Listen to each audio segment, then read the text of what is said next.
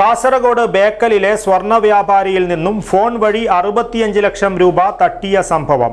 ബീഹാർ സ്വദേശി ഓംകുമാർ റോയി കുടുങ്ങിയത്. Cyber police നടത്തിയ പഴുതടച്ചുള്ള അന്വേഷണത്തിനൊടുവിൽ. Cyber cell C I P നാരായണന്റെ നേതൃത്വത്തിലുള്ള സംഘം നടത്തിയ അന്വേഷണത്തിൽ ഹരിയാനയിൽ നിന്നാണ് പ്രതിയെ പിടികൂടിയത്. കേരളത്തിലെ ഏറ്റവും വലിയ tiles and sanitary ware വിൽപ്പനക്കാരായ A B C group A B C sales corporation B C road Kasaragod. സംസ്ഥാനത്ത് ഓൺലൈൻ വഴി പണം തട്ടുന്ന സംഭവം വ്യാപകമാകുന്നു.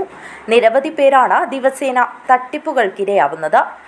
ഓഹരി വിപണിയിൽ ഇടപാടുകൾ നടത്തുന്ന ബേക്കൽ സ്വദേശിയായ വ്യാപാരിയിൽ നിന്നും ഇത്തരത്തിൽ അറുപത്തിയഞ്ച് ലക്ഷം രൂപയാണ് ബീഹാർ സ്വദേശിയായ ഓംകുമാർ റോയ് തട്ടിയെടുത്തത്.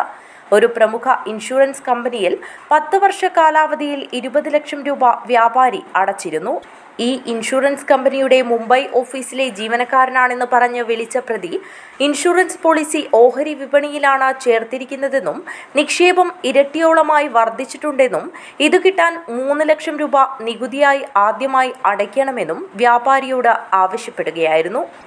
ഇത്തരത്തിൽ പലതവണയായും പിന്നീട് നിരവധി തവണ ഇൻകം ടാക്സിൽ നിന്നും സെയിൽസ് ടാക്സിൽ നിന്നാണെന്നും പറഞ്ഞും പണം അടയ്ക്കാൻ ആവശ്യപ്പെട്ടു. എല്ലാം കൂടി അറുപത്തിയഞ്ച് ലക്ഷം രൂപയോളം അടച്ചു കഴിഞ്ഞപ്പോൾ തട്ടിപ്പിനെക്കുറിച്ച് മനസ്സിലായ വ്യാപാരി പോലീസിൽ പരാതി നൽകുകയായിരുന്നു. ഇൻഷുറൻസിന്റെ ഇനയത്തിൽ കിട്ടാനുണ്ട് എന്ന് പറഞ്ഞിട്ട് തട്ടിപ്പാക്കിയതാണ്. യഥാർത്ഥത്തിൽ അയാൾക്ക് ഒരു ഇൻഷുറൻസ് ഉണ്ടായിരുന്നു. ആ ഇൻഷുറൻസ് ഷെയർ മാർക്കറ്റിലാണ് നിക്ഷേപിച്ചത്. അതിൽ നിങ്ങൾക്ക് ഒരു വലിയ പൈസ കിട്ടാൻ ബാക്കിയുണ്ട് എന്ന് പറഞ്ഞിട്ട് അതിന്റെ സർച്ച് സർചാർജും മറ്റുള്ള സർവീസ് ചാർജ് ഒക്കെ പറഞ്ഞിട്ടാണ് ഈ പൈസ ഇത്രയും പൈസ മാറ്റിയത്.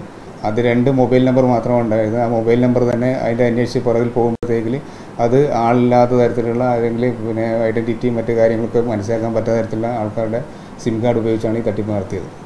കാസർഗോഡ് സൈബർ സ്റ്റേഷൻ ഇൻസ്പെക്ടർ പ്രേംസദന്റെ നേതൃത്വത്തിൽ നടത്തിയ അന്വേഷണത്തിൽ പ്രതിയിലേക്കുള്ള സൂചന ലഭിച്ചു.